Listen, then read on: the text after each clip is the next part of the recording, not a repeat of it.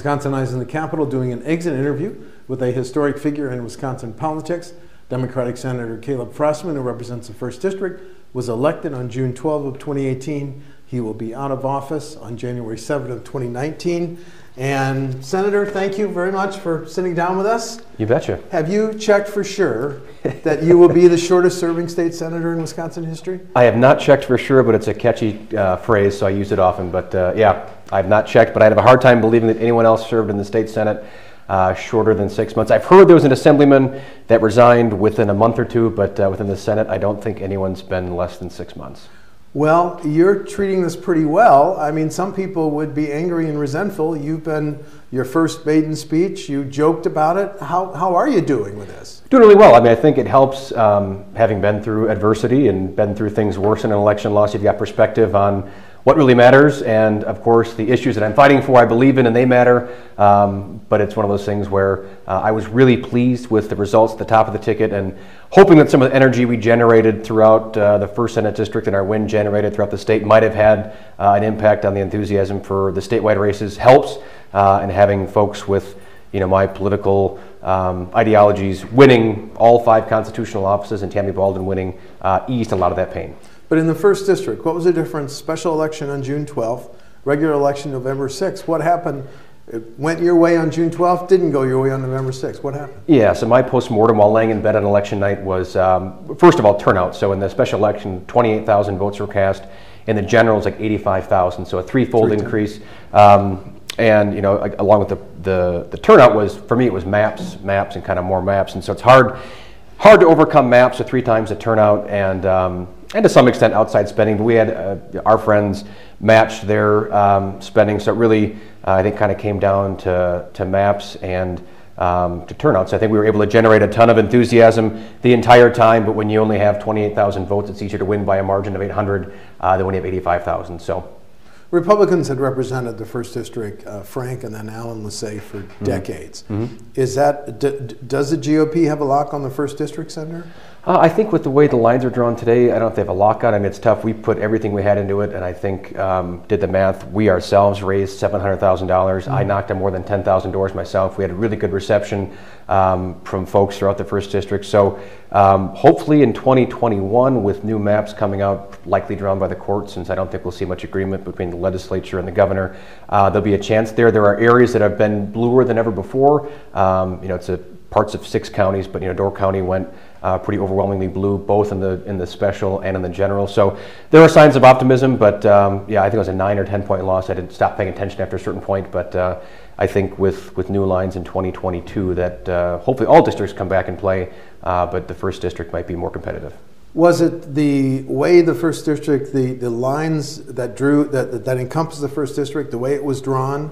Or was it the fact that it's been a Republican district forever? Yeah, I th- think it's a little bit of both. And so, yeah, you try to be as clear headed about this and, and, and um, take an objective viewpoint as to what the issue is. But I think there's I think it's both. I think it's the number of Republicans and how long it's been Republican. So um, it's extra hard to sway those folks that have been voting that way for a long time. And we we tried our best and put forward, you know, why our vision uh, for Wisconsin was better for the working man and why it was better for your average Wisconsinite, and we and we fought really hard. Uh, but I think it's hard sometimes when yeah, an area's been represented um, by a certain political party for a long time to, to sway those folks. And so maybe in addition to the number of Republicans, they're also perhaps more staunchly uh, in that camp. So it was I have no regrets. I met a lot of really interesting people, smart people at the doors that were of all political backgrounds, and so it's. Uh, no regrets, and we had a lot of fun. Well, as I look it up, you are historic in several ways. You didn't get to give your maiden speech on the floor of the Senate till about 6:10 or 6:15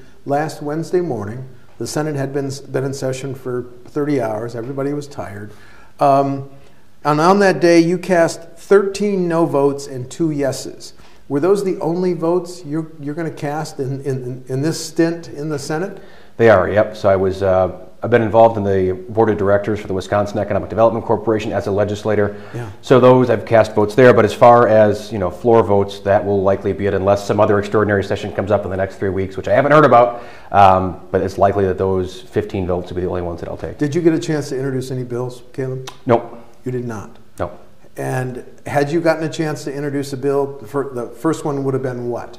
Um, that's a great question. So I think we've I think I want to make sure that as we look at economic development projects going forward, I wanted to see a greater emphasis placed on wage growth. So as we look at whether it's tax credit programs or, or um, uh, grants or those kind of things, looking at a way to make sure that we place enough pressure on companies receiving taxpayer benefits to improve quality of life beyond looking at the margins of the employment pool. Obviously, we should be focusing on workforce recruitment, but I think too much emphasis is placed on you know, the 3% of people that aren't working, whereas there's a huge swath of Wisconsinites that are working and are not seeing the kind of returns they're looking for. So modifying uh, tax credit programs to look at ways to put additional pressure on wage growth would have been a huge priority for me. It's a minor point, but maybe it isn't. Do you expect to be listed in the Blue Book? Uh, having served less than seven months? You know, I don't. I don't think so because uh, the 2017-18 Blue Books are out, and I will not be serving in the 1920 session. So uh, we've joked about that. That it's un, it's likely that I won't end up in a Blue Book, which doesn't bother me at all. It, it seems strange, um, but I'm not going to lose much sleep over it. Understand. Yeah. Let's talk about your maiden speech, your last speech on the floor of the Senate. Mm-hmm. You said you'd spent the weekend reading the lame duck bills and you would rather be up to your armpits in uh, cleaning some of the deer that you shot than reading those bills. You said uh, it makes you uh, weak in the knees to read those bills. Um, why? Uh, you, you obviously voted no, but why would you rather be cleaning, gutting deer than voting on those bills. Yeah, well, when I'm field dressing deer, something good has happened, and that's a good sign. But uh, yeah, that, the, the, the, analogy was just that I have a strong stomach, and it takes a lot to make me queasy. And having read these bills on Friday and again on Saturday and Sunday, and caucusing on them uh, Monday, and then voting Tuesday, Wednesday, um, kind of the well, not kind of the unprecedented, you know, power grab of kind of sore losership here. That you know, this crisis of conscience is such a coincidence that it happens a month after Scott Walker loses, and we're seeing unprecedented stripping of powers from the governor and the AG, and you know, essentially making it not all of their campaign promises, but what the, the will of the Wisconsin voters was thwarted, and that they, they voted for the vision of Josh Kaul, the vision of Tony Evers and Mandela Barnes, and these actions were essentially stopping some of those promises from coming true. And so it was really uh, disheartening, and just it really did make me, you know, queasy and nauseous to see. Um, I kind of saw as a, shameless naked power grab, and then to be additionally frustrated by uh, my Republican colleagues trying to rationalize these things as it really is an imbalance of power. Well, you know, where was that outrage for the last 170 years, or even the last eight years when we've had a Republican governor in office? Um, so it was really frustrating to see my Democratic colleagues pour their heart out on the floor and make you know incredibly compelling, articulate arguments uh, to kind of the blank stares of my Republican colleagues who if you guys watched the video, that not one Republican senator made one comment on one bill the entire 30 hours other than to vote or move or do other parliamentary procedures or respond to a question or two. So it was really telling. What did you learn about how the state senate works that you didn't know on June 10 when you were a candidate and not mm-hmm. a state senator? Well, it's funny. Within the 17 or 20 hours that we were on the floor, I learned a ton about parliamentary procedure. I'm such a a greenhorn when it comes to that, so it's interesting to watch all those things happen. But um, I was surprised at how little debate from the majority party in terms of their positions happened on the floor. In fact, it was none. It was all caucusing behind closed doors. They had their votes figured out. So that was, um, I don't know, frustrating is the right word, but surprising to me that the debate that happened on the floor was the minority party imploring the majority to consider some of these issues. It wasn't necessarily um, a communication of why these votes were happening in the numbers that they were. It was just dead silence, from the outer ring and uh, a really passionate imploring of, of the majority party to consider other measures that uh, fell on deaf ears. How many committee meetings did you have a chance to attend in your less than seven month tenure? Oh man, probably about ten, and they were all with uh, the Wisconsin Economic Development Corporation. Okay. So yep. you were not. Um, there were no standing committee meetings. No, I think yeah. Obviously, had I had I prevailed in November, we would have found some more of those. But for the six month term, um, WEDC was a good spot for me. Well, once upon a time, this place uh, operated largely on collegiality. Did you have a chance to build up a relationship with any Republican senators? Yeah, I mean, I, I, that's the interesting thing is I really feel like there are Republican senators who I'd love to share a duck blind with, or I don't golf, but go golfing with, like people that I really enjoyed talking to on a personal level. But um, I, that's something that surprised me also. That there was so little one-on-one back and forth about why my vote was nay and theirs was aye, and, and what, you know, what could either one of us do to change the perspective? It was, you know, caucusing separately and coming back and taking these votes. Um, but I do, you know, I feel like I built a decent relationship with, um, you know President Roth. We disagree on almost everything, but um, we got along fairly well. I know a couple of assembly persons, but um, it's tough when you're so philosophically divided and very few votes overlap. And granted, it was a very short session for me. There might have been more bipartisan issues that we could have agreed on in a longer term. Um, but I feel like those philosophical and legislative differences do uh, sometimes prevent that collegiality that you might have seen in years past. Well, to, to use the baseball analogy, you got a cup of coffee in the state senate. If anyone asked you how it could be improved in terms of more bi- bipartisanship, working together, collegiality, what would you recommend, Senator? I mean, I think people being open, and maybe maybe it's happened that my time frame was just too short to see it, but I do think I would have liked to have talked to um, Senators Testin or Senator Feyen or Senator Olsen, and you know, or Senator Cowles for that matter, and say, you know, we might not agree on much, but why, you know, this is why I think this is a bad idea. And so whether it's coffee or lunch, but having substantive conversations, and I know um, folks do have meetings across party lines, and, and they are meaningful, but I think more of that, uh, and even something, I don't know if a, a retreat is feasible, but enjoying time together and, and, getting to know each other so you can have those trusted conversations.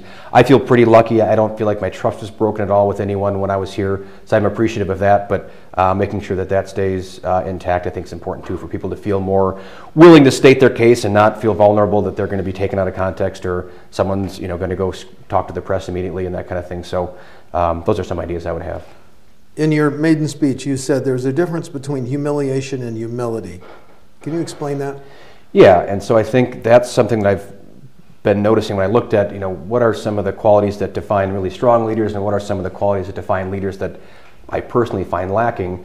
Um, you know, humiliation is different in, in the sense that humility is, you know, humiliation involves embarrassment and shame, whereas humility is really just a reflection of reality, and it involves the capacity for self-reflection. It in, involves, um, you know, being to be able to admit when we're wrong, uh, and just accepting what we are and what we are not, and maybe what we can become. And so, I was hoping, uh, especially, you know, having honored President George H.W. Bush earlier in the day, and of course that very famous you letter. from his letter. Yeah, the letter that incoming went, President Clinton. Exactly. That that kind of humility. That you know, hey, your ideas won over the the, the voting populace um, you know, I'm here to, you know, reflect on, on why your ideas won and why mine didn't. And in the meantime, I'm here rooting for you. And that is, you know, perhaps obvious, not the spirit we saw in the lame duck session. And so that's, you know, when, when the voters reject uh, the agenda of the contemporary Republican Party in all five constitutional offices and in a margin of 54 to 46 in assembly races, there's an incredible opportunity for self reflection there. And we're not seeing that happening. What we're seeing is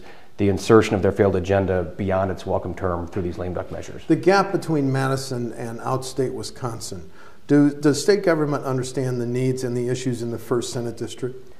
Um, I think they do, and I, that's why I focus. You know, when I mentioned, you know, what was my top priority? Be so much of it for me is wage growth. I think obviously economics are, are different. I drive through rural Wisconsin all over the state for hunting and fishing and visiting family all over uh, the northwest, the southwest, the central parts of the state, and um, you know, I, I, do think folks there have a perception about Madison or about Milwaukee, but for me, it comes down to making sure that we, when we use taxpayer dollars to invest in industries or in companies and the economy as a whole, it has to be a comprehensive look at things beyond just additional workforce recruitment. And so, all of Wisconsin, urban and rural, are aided by things like wage growth and making sure that they have adequate benefit packages. And I think that's been lacking the last eight years in your speech, you said you didn't know what Republicans mean when they talk about, quote, a liberal agenda, close quote.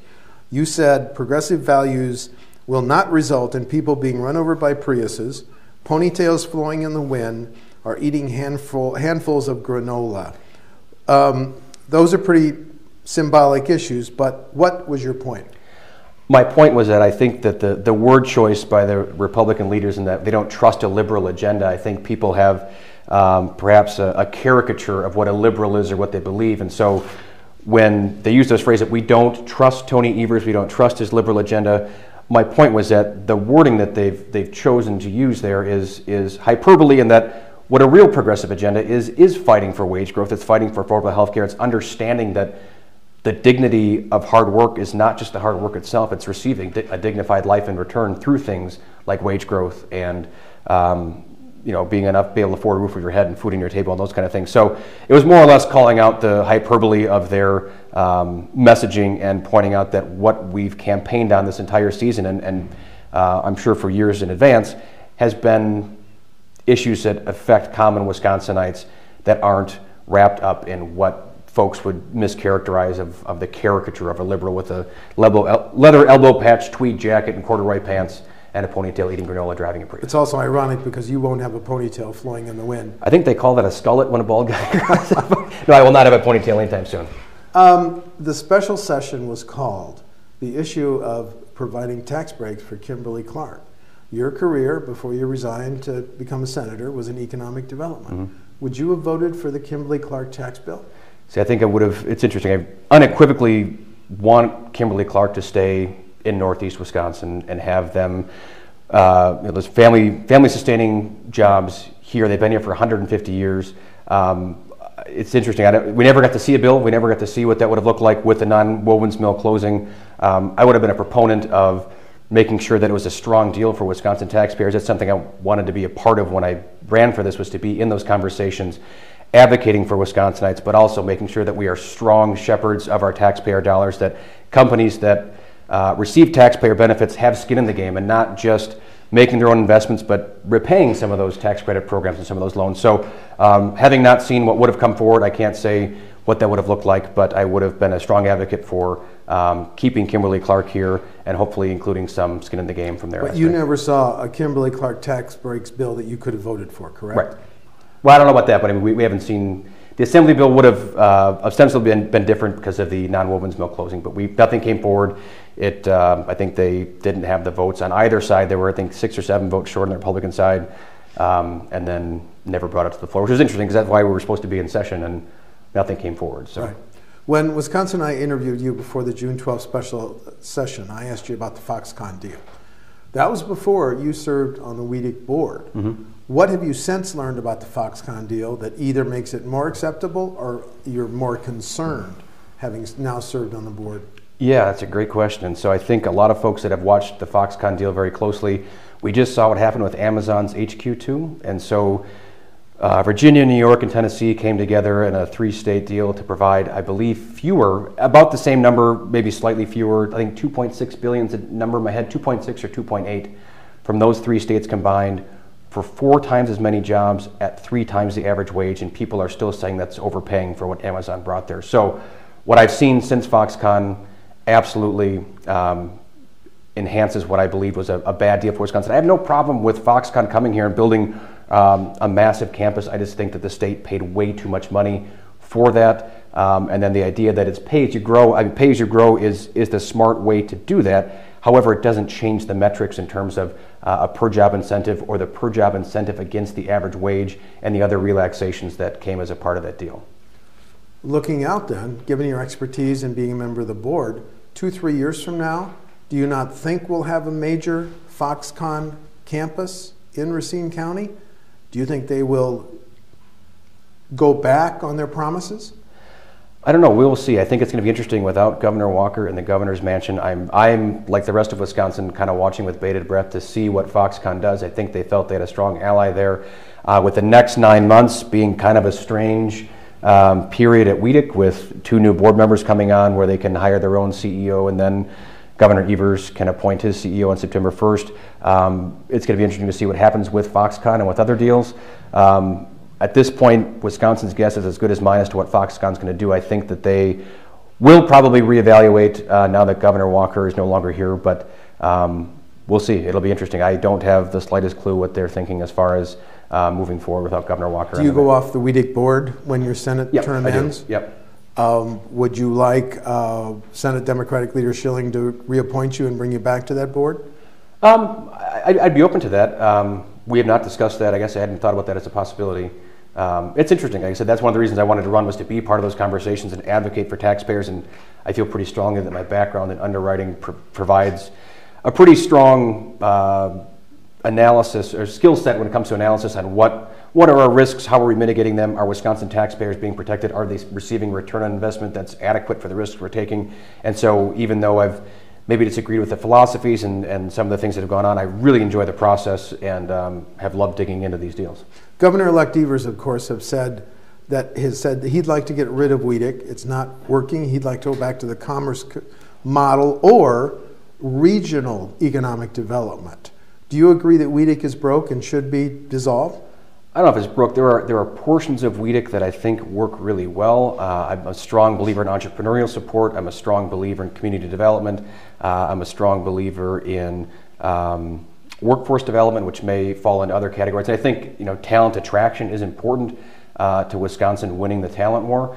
Um, but we look at some of these some of these large you know, tax credit programs that um, have come out of WEDC that essentially provide you know, massive payouts to executives and to shareholders, uh, and the repayment of those tax dollars or the replacement of the tax payments come from the wage earners of those companies. So it's not hyperbole to say that the wage earners at these companies are repaying the tax credits received by their, their um, shareholders and, and executives. So I, I think if we're going to be doing large scale economic development, it's important to make sure we're not subsidizing what would otherwise be market rate development and making sure that the, the wage earners at those companies, again, going back to the wage growth discussion, have an opportunity to see quality of life improvements and that we're not just uh, you know, using taxpayer dollars to, um, you know, retaining jobs is very important, but making sure that we're getting an adequate repayment for those tax dollars. Well, given that Speaker Vos and Senate Majority Leader Fitzgerald want to keep WEDC around, and the Governor-elect Evers wants to get rid of it, we're probably going to see WEDC around for a while. Mm-hmm. Do you think Mr. Hogan is the best one to continue to lead, lead it? So I've, I've known Mark for a long time. Uh, actually, when I took my first job out of college, it was as a credit bank, corporate banking trainee at M&I Bank, and Mark was the chief credit officer at M&I at that time. So I've known him for 11 or 12 years, and we have a great relationship. Um, I have a lot of respect for him. That'll be up to that group. I think, uh, yeah, I, we get along great. I respect him a lot. He's a smart guy. Um, I don't have um, a thought on, on what's going to happen there. I think, I, I, think it's likely he'll stay um, for those nine months. And I know, um, yeah, he's been very, very good at uh, keeping open lines of communication with me, and we've had very candid discussions. And so um, I've got a lot of respect for Mark. What are you going to do on January 8th?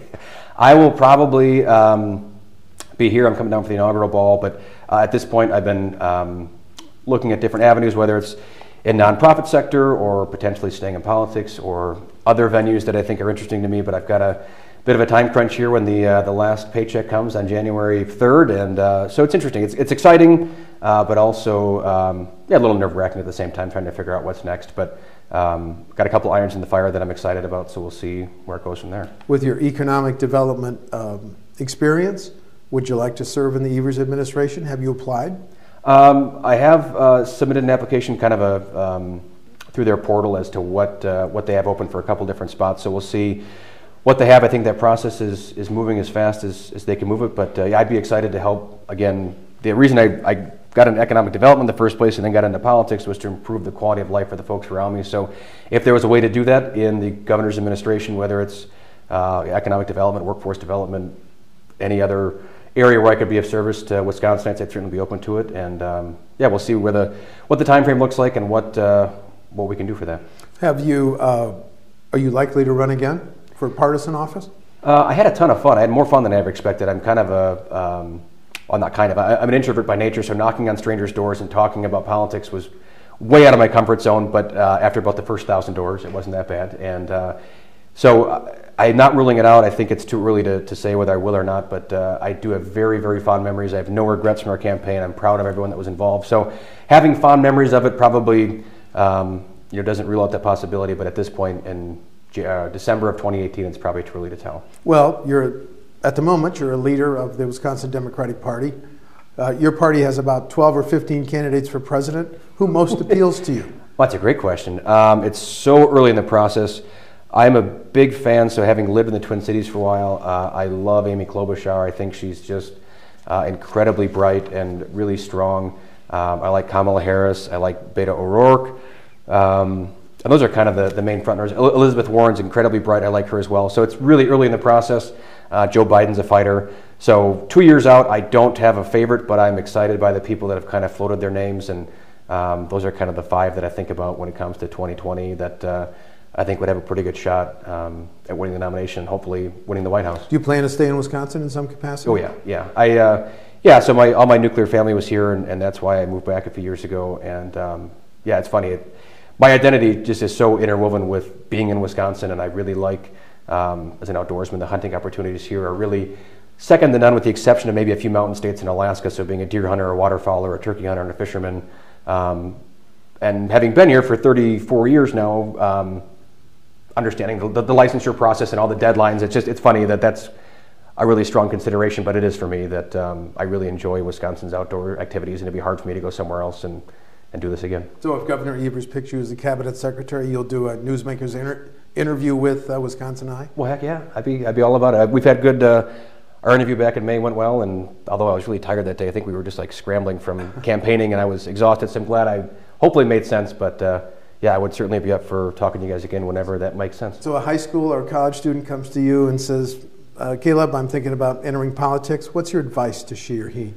Uh, so also, very good question. So, I would say, you know, build your skill set around whatever it is you're passionate about, whether that's the environment, whether it's business, whether it's law, um, but having a deep understanding and building a skill set around um, uh, analysis, communication, uh, being able to clearly state your ideas. It doesn't have to be political science. It can be, like I said, you know, my my major was real estate and urban land economics, and although if I could do it over again, I don't know if I'd do that. That skill set was extremely helpful in understanding policy and understanding uh, the impacts of, of financial statements and those kind of things. So even though it was kind of a windy road, uh, the path that I might not choose again was a great path to get me to a spot where I could communicate clearly, uh, understand higher level concepts, understand the validity of arguments. So I would just say throw yourself into whatever you're passionate about, and the skills you gain in that process will help you in politics, no matter if it's, like I said, environmental, business, uh, education, law, all those things will help you out. Well, just a couple final questions. As an economic development, that's been your career. Where does Wisconsin, what does Wisconsin has, have to offer a company when it comes to the issue of locating in Wisconsin or expanding here? What's your what's your elevator speech, your selling point for Wisconsin at large, not Door County, yeah. but Wisconsin? So Wisconsin at large, I think that the selling point has to be, you know, we have to have a, a, saleable bill of goods. I think it's a combination of promotion and attraction. We have to promote what's great about Wisconsin, but also provide an attractive bill of goods. And I think we have that, and I think we can enhance that. But it's it's high quality education, both at the you know K through 12 and higher education level. It's a skilled workforce. It's a a hardworking workforce, uh, and it's recreational opportunities. I think you know, perhaps trying to convince millennials in Chicago that taking public transit was a bad idea was a bad idea. But if we can say you can be on your bicycle uh, for a three-hour ride starting at 5:07, living in um, you know Lake Geneva or Tomah or Ladysmith, you know those type of things really are compelling. And so, in winning, I think so much of economic development going forward is going to be winning that battle on uh, for talent. If we can convince talent to live in Wisconsin, I think we can make enhancements by investing in childcare, by investing in our broadband infrastructure in rural Wisconsin, you know, we can create a really attractive bill of goods that'll attract talent, which in this day and age uh, can't help but to attract more employers as well. The shipbuilding industry is vital to Northeast Wisconsin, including the First Senate District. How's it doing? Is it on an up or uh, up or down? Uh, from my understanding, talking to the folks at Bay Ship, um, they are getting really creative. I think they continue to build freighters and tugs. Uh, there's military contracts uh, that continue to come through Marinette Marine. Um, but they're getting creative. They're building fishing vessels, and so uh, at least in, in, my hometown of Sturgeon Bay, that's a you know bastion of, of multiple hundreds, sometimes over a thousand union jobs that are you know paid for a lot of college educations and a lot of mortgages in Northeast Wisconsin. So uh, it's an industry we watch very closely, and so I'm, I'm encouraged by their creativity, and I'm encouraged by you know politicians of both stripes coming together to help make Northeast Wisconsin and Great Lakes states competitive when it comes to building ships for military purposes, for freight purposes, uh, to keep that a, a, viable industry in this area. Okay, I see the deer head. You're obviously an avid, an avid deer hunter. Do you eat all that venison? I do. Well, I give a fair amount of it away, but I do eat uh, an inordinate amount of wild game. I don't buy a lot of uh, grocery store meat with the exception of bacon. Um, but between wild turkey, uh, I got a bear this year, ducks, geese, and venison, I have a large chest freezer that uh, keeps me pretty well fed and well insulated um, year round. So yes, I do eat a lot of venison. I should probably be sponsored by Kingsford Charcoal and Weber Grills, but um, yeah, that's one of the things my family was very. Uh, I come from a large hunting family, but also the importance of not just eating it, but cooking it in a way that tastes really, really good. So I've developed some pretty good recipes as far as deer, bear, and turkey and waterfowl. Last question. We're in a building where people tend to take themselves very seriously. You don't seem to be taking yourself too seriously as you exit the Senate. Why?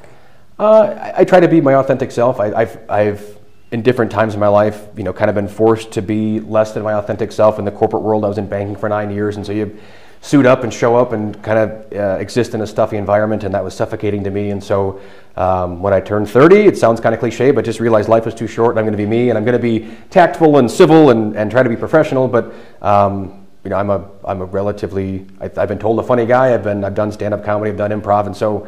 I'm not going to change who I am to try to appease people. I'm going to, like I said, be nice about it, be civil, but I'm certainly not going to, um, you know, act in a way that's not in accordance with my personal constitution. And a lot of times that means being a little goofy, and that seems to work out okay for me. So, Democratic Senator Caleb Frostman, thanks for the Thanks, exit. Thanks, thanks for the ex- exit interview and good luck. thanks so much. I appreciate it. Thank you. You bet.